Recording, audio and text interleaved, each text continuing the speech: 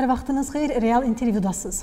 Ötən gün Azərbaycan prezidenti İlham Əliyev azad olunan ərazilərdə yaşıl enerji zonasının yaradılması ilə bağlı sərəncam imzalayıb. İndi həmin sərəncamdan irəli gələn bir sıra məsələləri müzakirə edəcəyik. Suallarımızı isə bərpa olunan enerji mənbələri Dövlət Agentliyinin direktoru Təbriz Əmmayevlə danışacağıq bu barədə. Xoş gördük Təbriz müəllim. Xoş gördük. E, Təbriz müəllim, öncə istəyərdim ki, sərəncamla qarşıya hansı öhdəliklər qoyulacaq, bununla bağlı danışaq. Buyurun. E, bəli, sizin də qeyd etdiyiniz kimi, cənab prezidentin dünən imzaladığı müvafiq sərəncamla e, işğaldan azad edilmiş ərazilərdə yaşıl enerji zonası salınması istiqaməti üzrə beynəlxalq məsləhətçi şirkətin cəlb edilməsi məqsədi ilə e, Azərbaycan Respublikası Energetika Nazirliyinin müvafiq vəsait ayrılmışdır. Xüsusən qeyd etmək istərdim ki, cənab prezidentin müvafiq tapşırığına uyğun olaraq İşğaldan azad edilmiş ərazilərdə yaşıl enerji zonasının salınması istiqaməti üzrə Energetika Nazirliyi və Bərpa olunan Enerji Mənbələri Dövlət Agentliyi tərəfindən artıq bir müddətdir ki, beynəlxalq təcrübə araşdırılır və bu istiqamətdə biz e, bir sıra e, ixtisaslaşmış e, şirkətlərlə müzakirələr aparırıq. Müzakirələr zamanı bu şirkətlərin yaşıl enerji zonasına dair texniki, texnoloji yanaşmaları, o cümlədən strateji və nəzəri baxışları, eyni zamanda bu istiqamətdə gələcəkdə tətbiq olunacaq elmi texniki tərəqqinin cari nailiyyətlərinə dair fikir mübadiləsi aparılmışdır və cari aydan etibarən isə layihə üzrə yaradılmış işçi qrupu və müvafiq məsləhətçi şirkətlərlə şirkətlə birlikdə müvafiq konsepsiya sənədinin daha sonra isə baş plan hazırlanması istiqamətində işlərə başlanılacaqdır.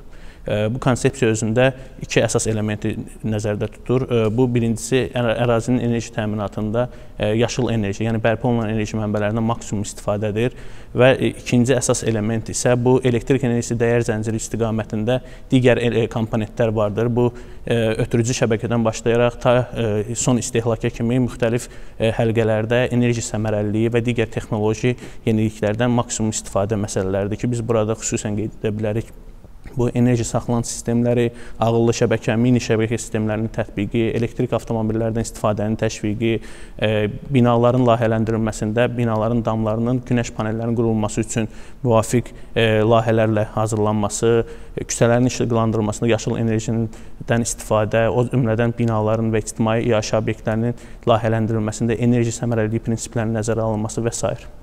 Biz ümumiyyətlə hər zaman deyirik ki, Qarabağda yaşıl enerji potensialı ümumiyyətlə yaradılacaqdır. İstəyərdim ki, bu yaşıl enerji potensialı nədir? Biraz ondan da danışaq. Ümumiyyətlə bunun faydası nə olacaqdır?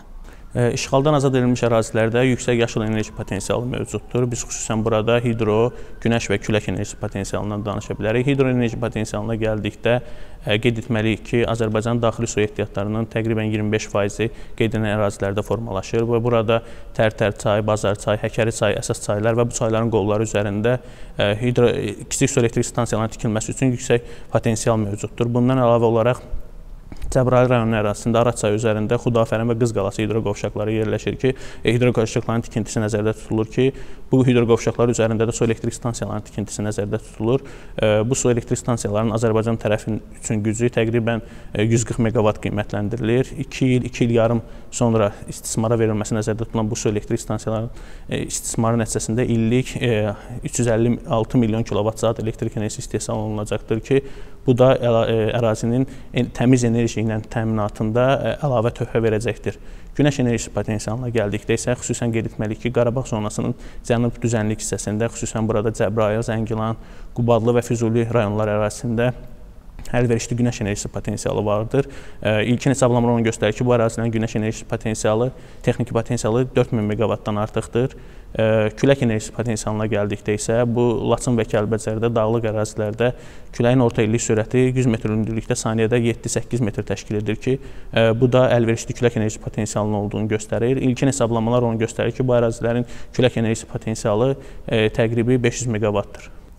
Bir də istəyirəm bir məsələdə münasibət bildirək. Ümumiyyətlə yaşıl enerji zonasının yaradılması ilə bağlı azad olunan ərazilərdə hal-hazırda vəziyyət necədir? Ümumiyyətlə potensial öyrənilir yoxsa artıq işlərə başlanılıb? Belə qeyd edək ki, kiçik su elektrik stansiyalarında hal-hazırda bilirsiniz ki, həmin ərazilərdə kiçik su elektrik stansiyaları mövcud olmuşdur, lakin mənfur düşmən tərəfindən bu su elektrik stansiyaları dağıdılmışdır.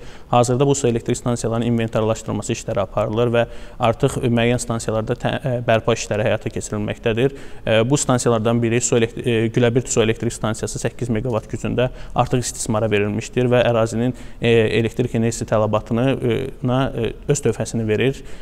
Bundan əlavə olaraq isə isə su qovşan 1, su qovşan 2 su elektrik stansiyalarında bərpa işləri davam etdirilir və bundan bunlara əlavə olaraq isə günəş enerjisi potensialının ölçülməsi üçün, eyni zamanda külək enerjisi potensialının ölçülməsi üçün sahəyə səfərlər təşkil olunur müvafiq ekspertlər tərəfindən. Gələcəkdə bu istiqamətdə layihələrin həyata keçirilməsi üçün marağını ifadə etmiş özəl şirkətlərlə də danışıqlara başlanılmışdır. Təbriz müəllim, ümumiyyətlə Qarabağda bərpa olunan enerji potensialı nə qədərdir?